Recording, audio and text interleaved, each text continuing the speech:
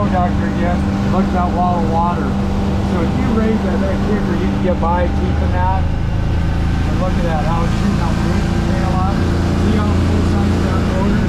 That's about where that offshore frac is coming out. And like I say, it's a lot better than what it was, but if I trim it too much, then it's just gonna blow out.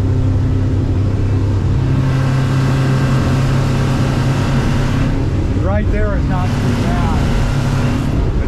To porpoise. So that's where the trim tabs would come in. But you can only use them so much because if not, if you use them too much, it's going to bury this and lift that motor. This is a lot better than what it was. I've seen a lot of them do this. I mean.